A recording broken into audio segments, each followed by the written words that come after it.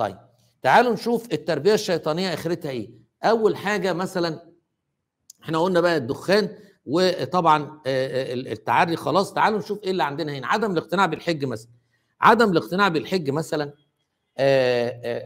شفت رجالة كنا قاعدين مع بعض فشباب طالع يحج. يقوم يقول له إيه؟ أنت رايح تحج دلوقتي ليه؟ ما تطلع مصيف أحسن. لو معاك فلوس ما تشتري شقة. خلي بالك بقى الشيطان ابن الشيطان ده عاوز يصرف الناس عن الله عز وجل.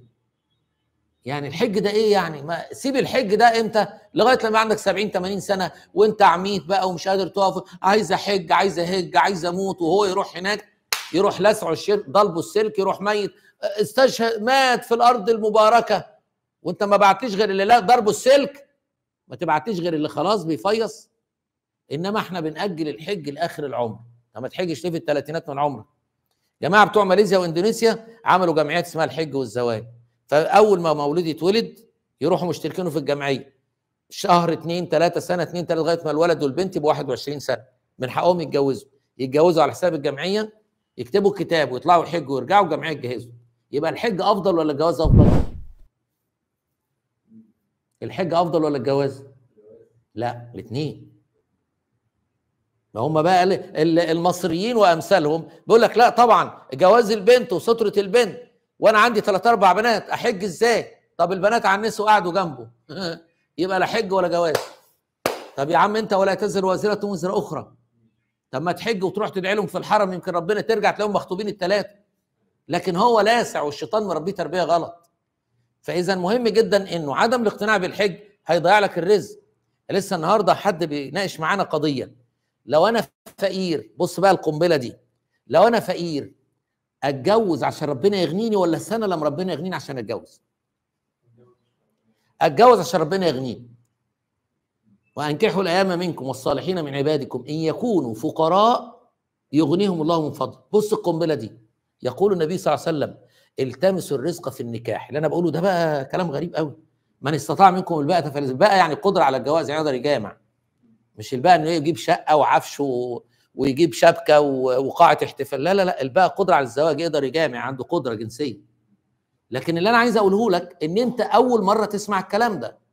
قال تعالى ده كلام ربنا والمصحف وأنكحوا الأيام منكم والصالحين من عبادكم. الأيام يعني اللي اتجوزت قبل كده لازم تجوزها. إحنا عندنا نقول لها خلاص أنت جربت رزقك جربت حظك ما تجربيش تاني. يعني سيبها كده نار تحرق نفسها وتحرق المجتمع.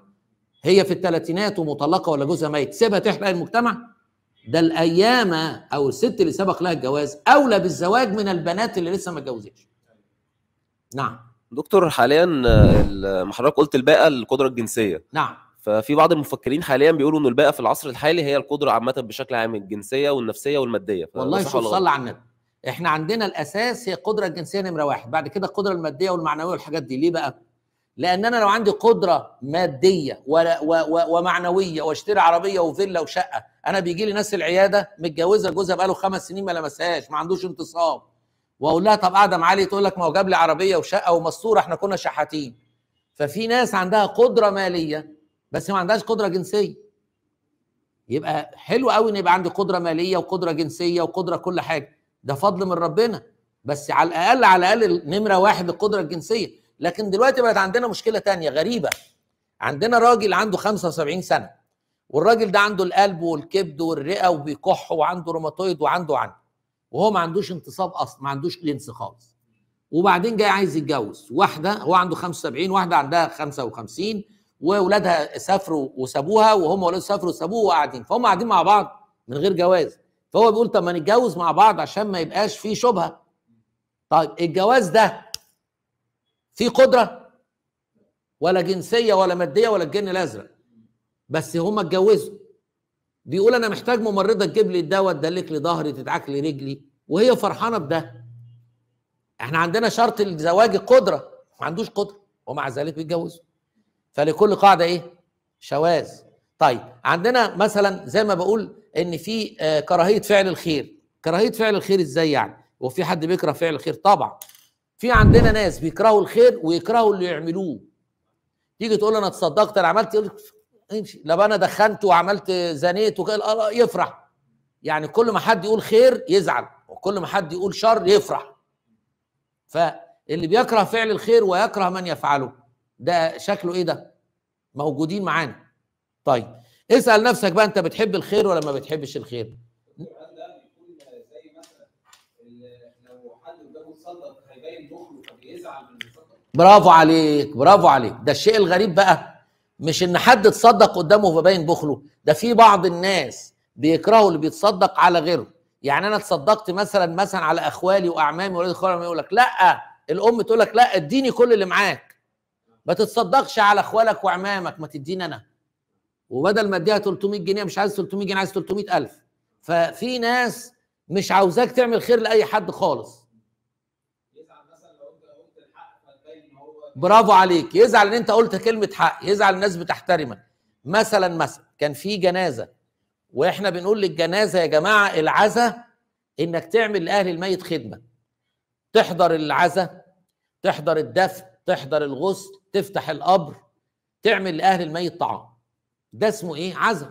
العزا عندنا في مصر عزا وحش جدا. تعمل سرادق وتجيب الناس يقفوا طابور شد حيلك شد حيلك شد حيلك لله لله ما أخذ معاك البقيه في حياتك كل الكلام الاهبل ده ملوش دعوة بال- بالميت إنما إحنا بنستعرض ونتفشخر زي إيه جماعة آه، يعني مش عايز أقول مالهمش قيمة فعاملين طابور وسرادق كبير جدا ويقول للراجل مقرئ اقرأ ربع واثنين وثلاثة على بعض عشان السرادق يتملي ونصور والناس جات لنا إيه القرف ده؟ إيه الدنيا دي؟ إيه الناس الواطية دي؟ أنت بتباهي بإيه بالظبط؟ إنما الناس المحترمة أنا شخصيا ما عنديش عازة، ما عنديش سرادق، أبويا مات، أمي ماتت، اتنين من ولادي ماتوا، ها زوجتي ماتت، كلهم ماتوا، ال- المقبره مات ما عملتش سرادق ولا عزاء، ما عنديش- أمال العزاء فين؟ العزاء عند القبر حق عزة واللي ما حضرش. وريني بقى تعمل إيه؟ لما جينا بقى للعزاء ففي ناس كل يوم يجيبوا أكل. العيلة دي جايبة أكل النهارده عشان اولاده وأحفاده مش فاضيين يعملوا أكل. فالأسرة دي عليها أكل النهارده والأسرة الثلاث أيام بتوع العزاء في ناس بيجيبوا أكل في ناس بقى تكره ده تقول لك إيه؟ رياء ده نف- طب أنت عايز إيه؟ إحنا عاوزين مقرئ كده ويلا والناس تيجي وشد حيلك شد إيه وتنيل إيه على أهلك؟ أشد إيه وتنيل إيه؟ مين اللي قالك تعمل كده؟ مين اللي قالك تعمل كده؟ مين اللي بدع بدعة السرادق دي؟ الناس دي منافقة كلها. قال عليه الصلاة والسلام عندما مات جعفر اصنعوا لآل جعفر طعاما فإن عندهم ما يشغل. الناس الخيرة المحترمة لما يبقى عنده عنده ميت بنحضر له أكل ونطلعه للعيلة. سواء جيران أهل أقارب. إحنا عندنا ناس مقطعة مهلهلة. واحد طالع يقول لي شد حيلك كتر خيرك. تاني شد حيلك كتر خيرك. إيه طب أنا إيه أنا عملت إيه بشد حيلي؟